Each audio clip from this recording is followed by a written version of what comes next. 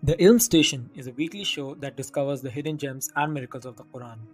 We explore all the various scientific discoveries and talk about how the Quran mentioned them 1400 years ago.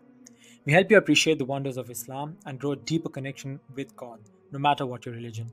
Subscribe and join us on this new journey beginning right here at the Ilm Station.